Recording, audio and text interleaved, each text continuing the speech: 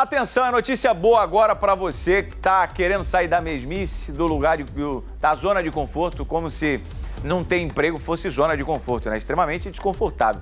Fato é que o Centro de Apoio ao Trabalhador, CAT, está com mais de 300 vagas de emprego nas áreas de serviços e comércio. Os interessados podem fazer a inscrição através do site. Vamos colocar o telão para ajudar você que está em casa? Quais são as vagas disponíveis? Vamos lá.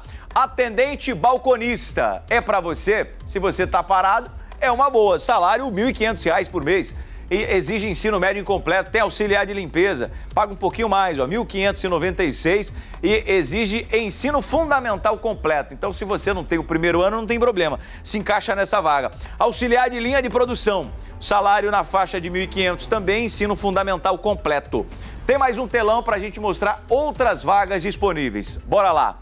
Empregado doméstico nos serviços gerais. R$ 1.300, ensino fundamental completo recepcionista em geral, R$ 1.300 e motorista de automóveis também R$ 1.300. Se você quiser saber como faz para se candidatar, é só entrar nesse site que está em cima, cat.prefeitura.sp.gov.br ah, Mineirinha, é um nome muito grande, não peguei. Então usa esse que a gente escreveu aí embaixo, que é o SBT News, o portal de notícias do SBT. Lá tem uma matéria falando sobre vagas de emprego. Você vai consultar toda a lista e ainda o site para poder concorrer a uma dessas vagas.